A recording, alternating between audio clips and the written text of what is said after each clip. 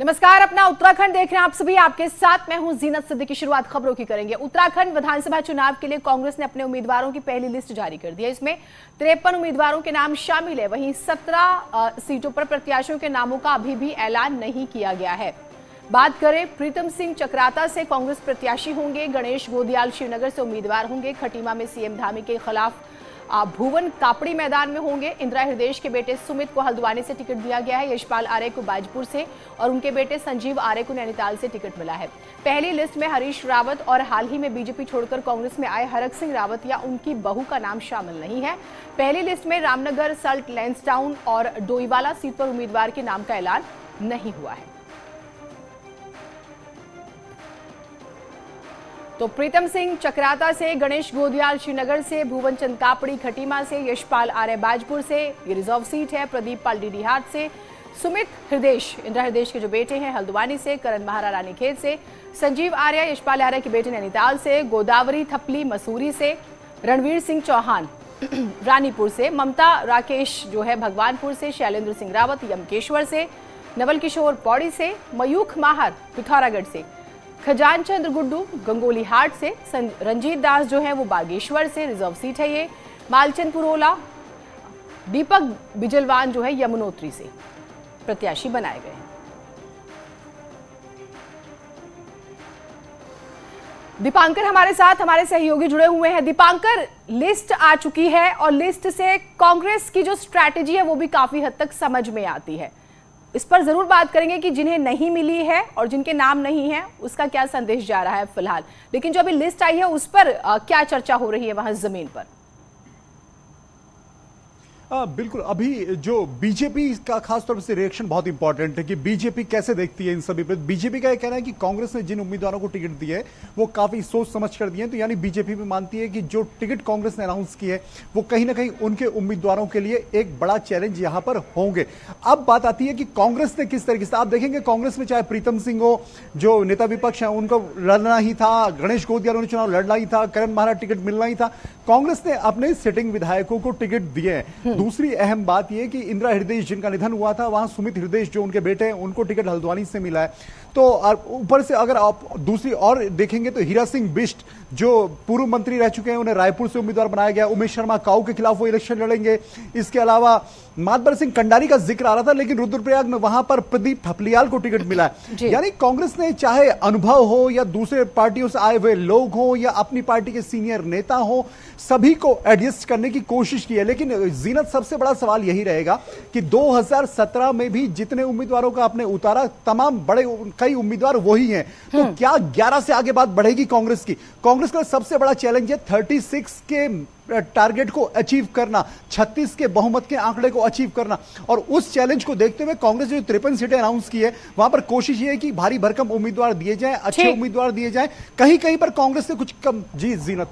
ठीक मैं इस पर और ज़्यादा बातचीत बातचीत करूँगी और ये सबसे बड़ा सवाल हो जाता है कि जो टिकटों का अनाउंसमेंट हुआ है, पार्टी में गुटबाजी और नाराज़गी कितनी रहेगी? तो कांग्रेस की पहली लिस्ट में पूर्व मुख्यमंत्री हरीश रावत और हाल में बीजेपी छोड़कर कांग्रेस में आए हरक सिंह रावत और उनकी बहू के नाम शामिल नहीं है। हरीश रावत पूर्व मुख्यमंत्री, नाराज़गी ज़ाहिर की थी, पिछले दिनों ट्वीट किया था, भारी भरकम ट्वीट था अथा दर्द था और साजिशों का ज़िक्र कर रहे थे, लेकिन प्रचार प्रसार समिति के स्टार रहे हैं। फिर समझाया गया, मनाया गया कि आपके ही नेतृत्व में चुनाव लड़ा जाएगा। ठीक है, सीएम फेस अनाउंस नहीं किया है प्रेशर पॉलिटिक्स थी। हरक सिंह रावत पहले चर्चा हुई कि भाई आएँगे, नहीं आएँगे, लेकिन फाइनली आ गए हैं। अब अनुकृति रावत सवाल यह है कि पार्टी ये कहती है कि भाई हम एक परिवार में एक ही को टिकट देंगे तो क्या परिवार के दो लोगों को टिकट मिलेगा? कल जारी कांग्रेस की पहली लिस्ट, कई बड़े चेहरों को टिकट दिया गया है इसमें। कांग्रेस प्रदेश अध्यक्ष गणेश गोदियाल श्रीनगर से चुनाव लड़ेंगे। नेता विपक्ष प्रीतम सिंह का भी हम ज़िक्र करेंगे। देखिए चक्राता से चुनाव लड़ेंगे। अभी जैसे दीपांकर जिस बात का ज़िक्र करे थे भुवन चंद कापड़ी, नेता कांग्रेस खटीमा से, मुख्यमंत्री जो है, उनके खिलाफ पुष्कर सिंह धामी के खिलाफ मैदान में उतरे हैं। तो ये भी नाम लगभग तय माना जाता है। यशपाल आर्य अभी बीजेपी को छोड़कर आए थे। बाजपुर से दलित वोटों पर अच्छा खासा प्रभाव है। न सिर्फ़ इन्हें टिकट मिला, बल्कि इनके बेटे को भी मिला है। तो फिर वो जो एक परिवार से दो टिकटों वाली, एक टिकट वाली बात हो रही थी, उस पर सवाल उठता है। सुमित हृदय इंदिरा हृदय के बेटे हैं। हल्द्वानी से जो है टिकट मिला है। ये भी तय माना जा रहा था। करण महारा, नेता कांग्रेस के, रानीखेत से। तो ये वो नाम है जो लगभग तय थे, उन्हें ही टिकट मिला है। संजीव आर्य, नेता कांग्रेस से। नैनीताल से जो है, इन्हें टिकट मिलता है। और गणेश गोदियाल, प्रदेश अध्यक्ष श्रीनगर से आप इन्हें जानते हैं। ये भी तय था कि इन्हें टिकट मिलेगी। हरीश रावत की बहुत प्रिय है। अब आपको बताते हैं कि बीजेपी के दिग्गज नेताओं के सामने कांग्रेस ने अपने किस नेता पर दाव लगाया है। सबसे पहले, अब आपको इसको हम भी दिखाते हैं कि वर्सेस देखिए, पुष्कर सिंह धामी वर्सेस भुवन चंद कापड़ी, जैसे मैं अभी ज़िक्र भी कर रही थी। ये जब बड़े चेहरे आमने सामने होते हैं तो ऑब्वियस है कि भाई ये हॉट सीट हो जाती है, जिस पर सबकी ज़्यादा, सबसे ज़्यादा नज़र रहती है। मदन कौशिक, सतपाल ब्रह्मचारी, हरिद्वार, यानी कि ये आमने सामने है।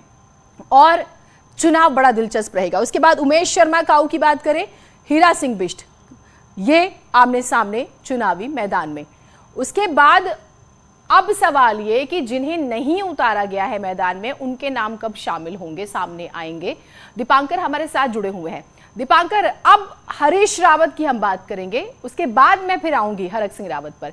हरीश रावत, इस बार तो लिस्ट में नाम नहीं है। हालाँकि उनकी नाराज़गी और दबाव पॉलिटिक्स हमने पिछले दिनों सब देखी। उनका अंदाजे बयान ये बार बार इशारा करता है कि वो चाहते तो है कि उनके नाम का ऐलान हो जाए। अब उनको लेके क्या स्ट्रैटेजी पार्टी के अंदर बनी हुई है? क्या चर्चा है वहाँ ग्राउंड पर? जीरत इस सवाल का जवाब मैं दूँ। उससे पहले एक रिएक्शन हम बहुत जल्दी से बीजेपी के प्रदेश अध्यक्ष मदन कौशिक का लेंगे। कांग्रेस ने तिरपन सीटें अनाउंस कर दी कई बड़े नेता लेकिन हरक सिंह रावत और हरीश रावत अभी भी अनाउंस नहीं हुए। आप पहले इस लिस्ट को कैसे देखते हैं? उनमें बहुत बड़ा घमासान है। अभी भी कई बड़े नेताओं के टिकट नहीं क्लियर हो पाए। इसका झगड़ा चलते चलते यहाँ तक आया। इतने झगड़े के बाद भी तिरपन कर पाए। तो मैं समझता हूँ कि कांग्रेस का जो पूरा सोशल मीडिया उठाकर देखिए भयंकर उनके अंदर जो गुटबाजी है ग्रुपबाजी है जो पिछले पाँच साल से चल रही है वही अब है। वही ग्रुपबाजी वही गुटबाजी है। समीकरण ब्राह्मण ठाकुर एससी महिला मोमडन इस सारे समीकरणों पर आप देख रहे हैं कि आप कहाँ काउंटर कर रहे हैं? एससी एसटी महिला महिला हमने उनसे ज़्यादा दिए हैं ब्राह्मण हमने ज़्यादा दिए हैं ठाकुर हमने ज़्यादा दिए हैं। हमने सब उनसे ज़्यादा दिए हैं साहब। आप देखिए हमारे समीकरण कितने अच्छे हैं। तो वो आपस का लड़ाई झगड़ा बंटवारा मेरा तेरा मेरा वो टिकट बंटवारा उनका अपना अपना हो रहा है। हमारा टिकट बंटवारा भारतीय जनता पार्टी का हुआ है। सिंह रावत को अभी तक अनाउंस नहीं किया उन्होंने। अभी आपके लिए भी उन्होंने पत्ते बहुत बाँध बंद करके रखे हुए हैं। वो उनके लिए बंद है हमारे लिए वो तो वो जाने। हमने तो ओपन किया है। जहाँ उतारेंगे हरक सिंह रावत को वहाँ सामने जो काउंटर होगा वो हरक सिंह रावत जो दावा आपकी पार्टी में रहते हुए करते जहाँ से लड़ूँगा मैं जीत जाऊँगा। तो आपको डर नहीं है? अरे भाई डर उनको है। हमें कहाँ डर है? डर उनको है। दे उसको कोट द्वार। लड़ेंगे। दो उनको सीट पर। ऐसा नहीं है उनमें आपस में बड़ा भयंकरतम स्थिति खराब है। पूछिए चर्चा है कि भाई सतपाल महाराज के सामने उतर सकते हैं। सतपाल महाराज के सामने उतारा जा सकता है। ऐसी भी चर्चा है अभी। पूछिए जरा। बिल्कुल बिल्कुल सर एक मिनट मैं मदन कौशिक जी से पूछना चाहूँगा। सर एक मिनट। सर जो सबसे बड़ी चर्चा चल रही है कि त्रिवेंद्र सिंह रावत को डोईवाला से उन्होंने मना कर दिया इलेक्शन लड़ने से तो वहाँ हरक सिंह रावत मुश्किल लड़ेंगे। लेकिन अगर चुनाव लड़ते हैं तो चौबट्टा खाल में सतपाल महाराज के खिलाफ लड़के वो एक यह साबित करने की कोशिश करेंगे कि हमने बीजेपी के बड़े नेता को हराया। अरे, आप ऐसा क्यों बोल रहे हैं? वो, सतपाल महाराज जी हमारे इतने बड़े नेता हैं, कोई लड़ लीजिए। सतपाल महाराज जी बम्पर, एकदम ज़बरदस्त तरीके से, एकदम रिकॉर्ड बनाएँगे, जीतेंगे।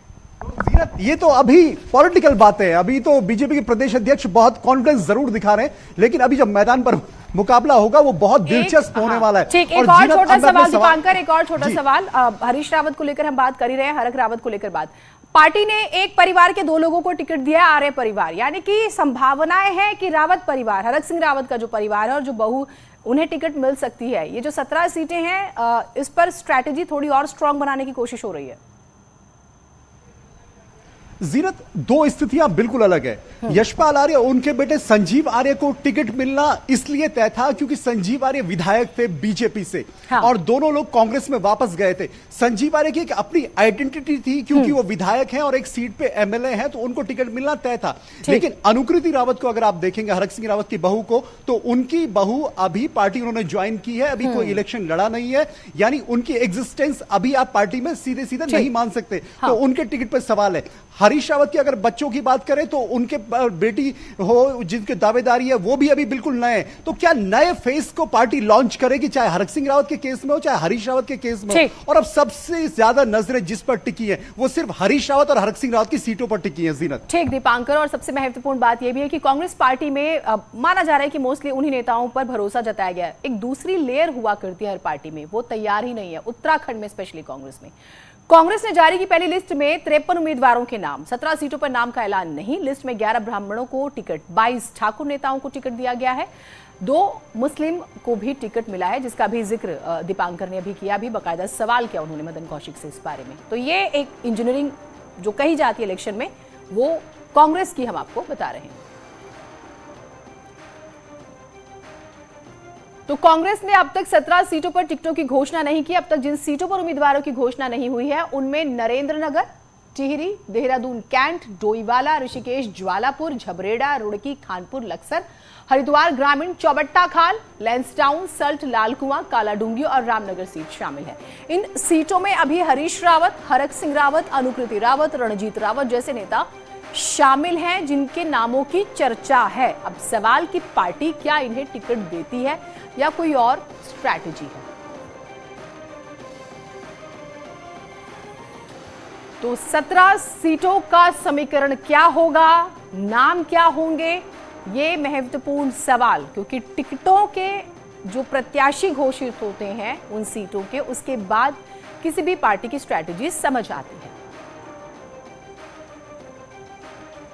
मेरे हाथ में एक काम है, जो मुझे पार्टी ने सौंपा है। कहा है, तुम कंपेन को लीड करो। चुनाव चुनाव तुम्हारे नेतृत्व में लड़ा जाएगा। मैं वो काम कर रहा हूँ। तो मैं एक बार में एक ही काम में फोकस करता हूँ। अब कौन मुख्यमंत्री होगा? मेरा काम है बहुमत जुटे और बहुमत जुट जाएगा। तो जो हमारी टाइम टेस्टेड ट्रेडिशन है कि हम कांग्रेस अध्यक्षा से प्रार्थना करते हैं कि हमारे नेता को नामजद कर दीजिए, वो हमारा नेता नामजद कर देंगे। देखिए 2022 के चुनाव में मुख्यमंत्री के सामने सबसे बड़ा मुद्दा तो यह है कि साढ़े नौ साल रहते हुए मुख्यमंत्री ने खटीमा के लिए क्या किया? विधायक के रूप पर। और छः महीने मुख्यमंत्री कार्यकाल में उन्होंने खटीमा के लिए क्या किया? अगर वो क्रोकोडाइल पार्क वन चेतना मैदान का भूमि पूजन, सरकारी अस्पताल, एकलव्य विद्यालय, ये सब बातें करते हैं। तो ये सारी चीज़ें, कोई भी ऐसी चीज़ नहीं है जो उनके मुख्यमंत्री बनने के बाद इसकी शुरुआत हुई हो। मैं बहुत बहुत धन्यवाद दूँगा पार्टी का, जिन्होंने मुझ पर विश्वास किया, भरोसा जताया, और मैं पार्टी को भी यह भरोसा भरोसा दिलाना चाहता हूँ कि जिस प्रकार पार्टी ने मुझ पर भरोसा किया है, इसी प्रकार इसी देवतुल्य जनता, जो हमारे लोहागाड़ विधानसभा की है, संपूर्ण लोगों ने बिल्कुल मन बना लिया कि इस बार बहुत हो गया। दो बार माननीय विधायक जी को देख लिया। है इस बार खुशहाल सिंह अधिकारी को एक बेटे और एक भाई के रूप में, जनसेवक के रूप में आशीर्वाद दे रहे हैं। उधर 26 जनवरी को राजपथ पर उत्तराखंड की जो झांकी निकलेगी, उसको हम आपको दिखाते हैं। झांकी में उत्तराखंड के बद्री केदार और हेमकुंड साहब की तस्वीर के साथ ही विकास के कामों पर फोकस किया गया है। झांकी में डोबरा चांटी पुल को भी दिखाया गया है, जो कि इंजीनियरिंग का एक नायाब नमूना है। देवभूमि की पावन धरती, तुझको शत शत मेरा लहर मीठे स्वर कहे। हिम पर्वतों के बीच में बदरी केदार स्वयं रहे।